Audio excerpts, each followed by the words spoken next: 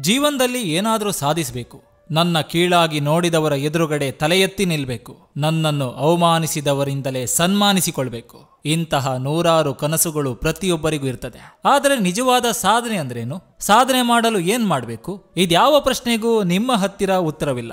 ನಿಮ್ ತಲೆಯಲ್ಲಿರೋದಿಷ್ಟೇ. ಏನಾದರೂ ಸಾಧನೆ ಮಾಡಬೇಕು ಅಷ್ಟೇ. ಹೊಸ ಬೈಕು, ಕಾರು ತಗೊಂಡು ತಿರುಗಾಡಿದ್ರೆ ಸಾಧನೆನಾ? ಎಲ್ರು ನೋಡ್ತಾರಲ್ಲ, ಇವನ್ ಹತ್ರ ಕಾರಿದೆ ಅಂತ. ಇಲ್ಲ, ನಮ್ಮ ಎದುರಾಳಿ ಕೆನೆಗೆ ಪಟಾರ್ ಅಂತ ಬಾರಿಸಿದ್ರೆ ಅದು ಸಾಧನೆನಾ? ಅವನಿಗೆ ನಾನು ಹೊಡೆದೆ ಅನ್ನೋ ಅಹಂ ನಮ್ಮಲ್ಲಿ ಬರುತ್ತಲ್ವಾ? ಅದಕ್ಕೆ ಹೇಳಿದೆ. ಮತ್ತೇನ್ ಸ್ವಾಮಿ ಸಾಧನೆ ಅಂದ್ರೆ? ಆದರ್ಶ ಇಲ್ಲದೆ ಬದುಕಿದ್ರೆ ಬದುಕಿಗೆ ಅವಮಾನ. ಸಾಧನೆ ಮಾಡದೆ ಸತ್ರೆ, ಸಾವಿಗೆ ಅವಮಾನ. ತಾಯಿ ಗರ್ಭದಲ್ಲಿ ಹುಟ್ಟಿದ್ದೇವೆ, ಭೂತಾಯಿ ಮಡಿಲಿಗೆ ಹೋಗ್ತೇವೆ. ಅಷ್ಟೇ. ನಾನು ನನ್ನದು ಅನ್ನೋ ಹಾರಾಟ, ಕಾಲಡಿಯ ಮಣ್ಣು ಮೈಮೇಲೆ ಬರುವ ತನಕ.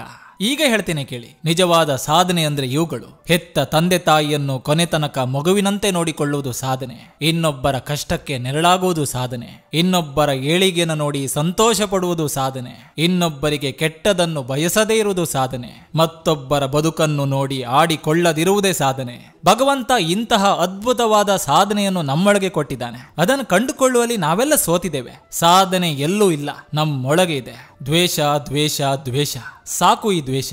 ಬಾಳು ಮೂರೇ ದಿನ ಬಹಳ ಜೋಪಾನ. ಬಹಳ ಮೆರಿಬೇಡ ಬೀಳ್ತಿ ಕಾಣಣ್ಣ. ನಮ್ದೋರಿಗೆ ಅನ್ನ ಹಾಕ್ದೋರಿಗೆ ಎಂದೂ ಬೆನ್ನಲ್ಲಿ ಚೂರಿ ಹಾಕಬೇಡಣ್ಣ. ನಾ ಕೊನೆಯಲ್ಲಿ ಹೇಳೋದಿಷ್ಟೇ, ಲಕ್ಷಗಟ್ಟಲೆ ಇದ್ದವನು ಶ್ರೀಮಂತನಲ್ಲ, ಒಂದೊಳ್ಳೆ ಮನಸ್ಸಿರುವವನು ನಿಜವಾದ ಶ್ರೀಮಂತ.